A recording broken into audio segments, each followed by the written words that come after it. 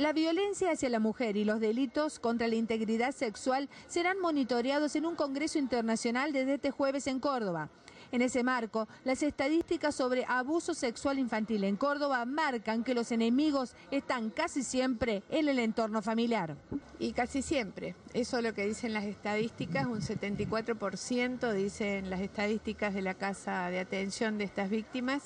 son conocidos justamente tienen en cuenta este, el acercamiento y la confianza que las víctimas tienen con ellos.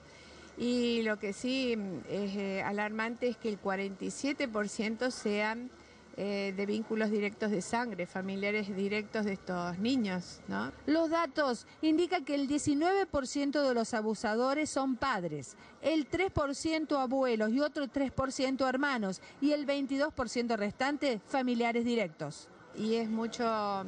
eh, más grave creo para el tratamiento clínico porque eh, los niños y las niñas son